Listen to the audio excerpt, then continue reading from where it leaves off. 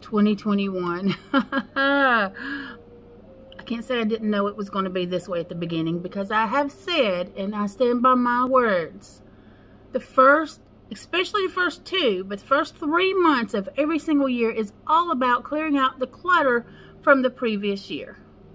Every year we're going to have that. And let's face it, 2020 was an absolute mess, right? Right, so we have a lot to clean up a lot of debris left behind from 2020's wake. So that's what's going on right now. A lot of things are chaos and crazy, but the message from Spirit today is to not let fear control you. That's what they're trying to do to us, right? Oh my gosh. Sorry, I've been sick all last week with the sinus crud. So I may get a little froggy during this video. Don't worry, it's not COVID, it's just sinus. Anyway, they want us to be as fearful as possible, afraid of everything, afraid of even going out, afraid of being with family and friends even, afraid to work, afraid to just live our lives. When we allow fear to guide us, what happens? We stand still. We don't move. We make stupid decisions. Think about when you allowed fear to guide you. What happened? Did it ever end well? No, it didn't. And once you got past all of that fear, you look back and you're like, what was I truly afraid of? Right? Right. Sorry. So do not, under any circumstances, let fear make your decisions for you. Do not. We have a new moon this week, so I want you all thinking about the positive energy that you want to put into your dreams. What kind of positive energy do you want to manifest? What do you want your life to look like and to feel like? Really think about those things and start writing those things down. We have more power than you believe. You have to believe in your own power. Believe in what you can create. Believe in what you can manifest. Yes. Can you believe that? Yeah.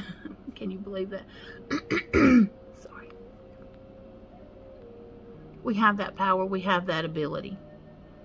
We have to stand in that truth. We stand in each of our own truth. We put out into the world the energy that we want the world to be. How do you want it to act? How do you want it to behave? How do you want the world to be? Do you want the world to carry on in fear? Then don't put fear back out into the universe. Don't do it. Just because they are showing you all of these things, that, that they only show you what they want you to know. They only show you what they want you to know. And the majority of it is fake news. It's been edited so much. It's been staged. Come on now. Open your mind. And let's work on what we want to manifest our world to look like. Let's become that energy. And let's put that energy out into the world. Do not give in to your fears. Do not listen to everything you see and hear on any of the media platforms. Don't do it. Don't do it. Do yourself a favor and step away from all of that and then look at your life without looking at any of the news platforms. Don't look at any of that negative media. Give yourself a week or two and then come back to me and tell me what your life is really like. Mm